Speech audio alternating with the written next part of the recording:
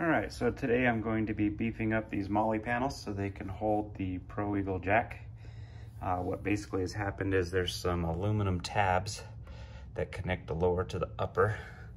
There's three of them across here. Uh, what's happened is over time through vibration, they fractured.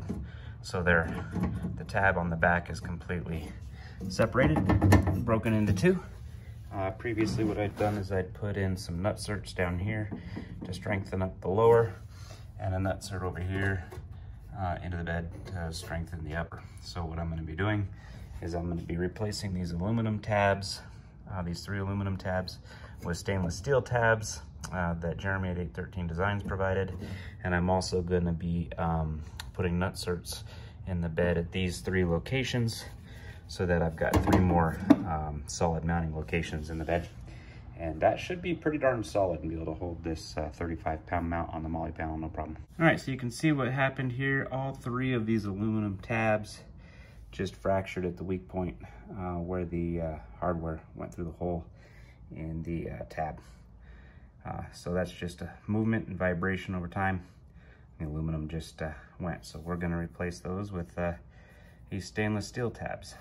Previously, I'd just gone uh, with what I had and used some fender washers to uh, hold the, uh, the ProEagle jack mount to the MOLLE panels.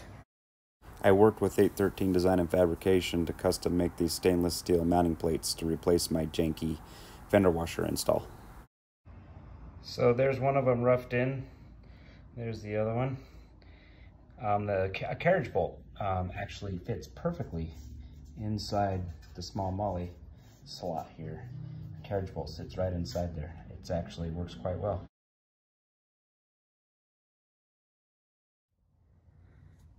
All right, the jack is now supported by five rubber baby buggy bumpers.